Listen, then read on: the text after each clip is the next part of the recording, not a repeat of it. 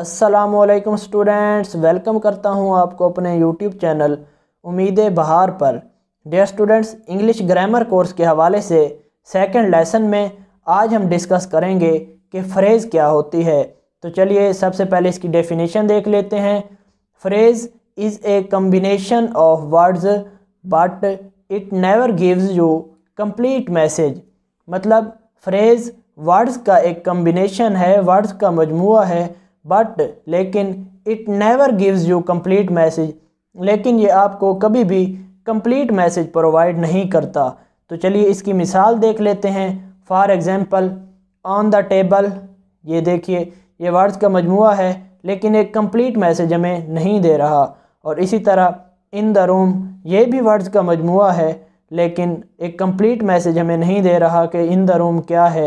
Eight Lahore Lahore में तो ये देखिए, इनसे हमें पता चलता है कि ये कोई भी कंप्लीट मैसेज हमें प्रोवाइड नहीं कर रहे वर्ड्स तो इसके बाद अब हम देख लेते हैं सेंटेंस को, जो कि हमारा फोर्थ टॉपिक है।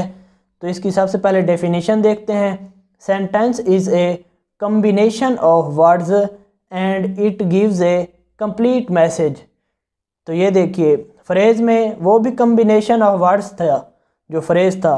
तो सेंटेंस भी कम्बिनेशन ऑफ़ वर्ड्स है, लेकिन इनमें फ़र्क सिर्फ़ इतना है कि फ्रेज़ आपको कंप्लीट मैसेज नहीं देता और जो सेंटेंस होता है, ये आपको कंप्लीट मैसेज प्रोवाइड करता है।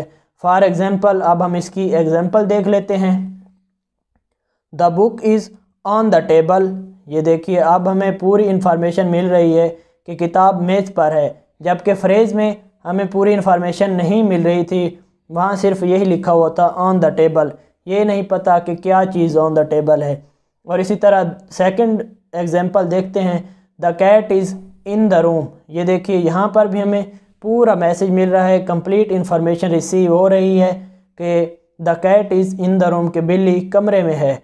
तो अब आपको उम्मीद करता हूँ, फ़र्क का पता चल गया होगा कि फ्रेज़ कभी भी आपको कंप्लीट मैसेज प्रोवाइड नहीं करता और जो सेंटेंस होता है, वो आपको हमेशा कंप्लीट डिटेल इन्फॉर्मेशन प्रोवाइड करता है। तो इसमें एक इंपॉर्टेंट बात जो कि आपने समझनी है, वो ये है कि phrase can be a part of sentence कि जो फ्रेज़ होता है, ये सेंटेंस का हिस्सा हो सकता है, लेकिन sentence can not be a part of phrase तो जो सेंटेंस होगा, वो कभी भी फ्रेज़ का पार्ट नहीं होगा। इस बात को आपने ख़ास ख्याल रखना है, जहन में रखना है। ये देखिए, यहाँ पर जो फ्रेज़ है, ये सेंटेंस का हिस्सा है, लेकिन कभी भी सेंटेंस फ्रेज़ का हिस्सा नहीं होगा, हमेशा फ्रेज़ ही सेंटेंस का हिस्सा बन सकता है। तो अब हम आगे देख लेते हैं नेक्स्ट टॉपिक क्या है, और वो है पार्ट्स ऑफ़ सेंटेंस कि एक फ़िक्रे के कितने पार्ट्स होते हैं। There are two parts of a sentence एक फ़िक्रे के टू पार्ट्स होते हैं। नंबर वन सब्जेक्ट जो कि परफॉर्मर होता है, और नंबर टू प्रेडिकेट मतलब इन्फॉर्मेशन अब मैं एग्ज़ाम्पल से अपनी बात को साबित करता हूँ कि ही इज़ प्लेइंग क्रिकेट ये देखिए, इसमें ही सब्जेक्ट है और इज़ प्लेइंग क्रिकेट ये इन्फॉर्मेशन है।